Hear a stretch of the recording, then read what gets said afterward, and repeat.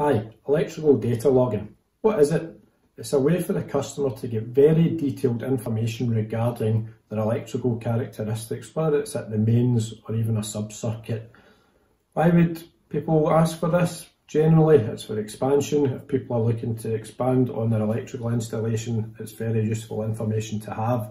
I would say it's predominantly more for commercial and industrial uses. However, I can see a use for this coming into domestic market shortly, which I'll explain later.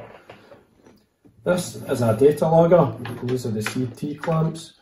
These need to go around whatever it is you're logging. Then hooks up to the laptop where we get a very detailed survey. So here's an example of a survey we carried out a few years ago on quite a large site. You'll see the graph there, so that's pretty much two weeks worth of logging. There's three lines on that graph, so that's a phase each. So very good for balancing phases. It's a useful tool for balancing phases as well, which is efficient. So across the graphs, we've got current, energy, power. Not going to show you them all. We've got cost, volts, power factor, voltage and current combined, power and power factor combined, CO emissions, apparent power kVA.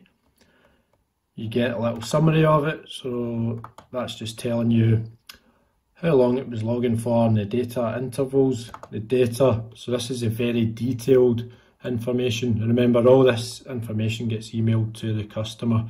So two weeks worth of logging across the intervals. I'm not going to show you all that. Statistics, probably the most important bit here.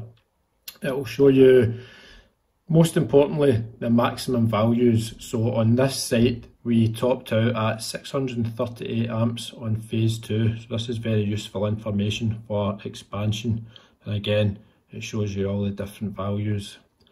You can also set costs and alarms with this as well. So as you can see, very, very detailed information there. So if you're looking to expand on an installation, it's quite a simple survey to do and, and it's well worthwhile. Going back to the domestic market, I can see this being more useful soon because we will be moving off of gas central heating onto electric heating, but probably before that come along, car chargers, we're putting a big load on quite small supplies, so I can see a need for this in the domestic market soon. So if you've got any questions regarding data logging or you'd like us to carry one out, please get in touch with us. Thanks a lot. Bye bye.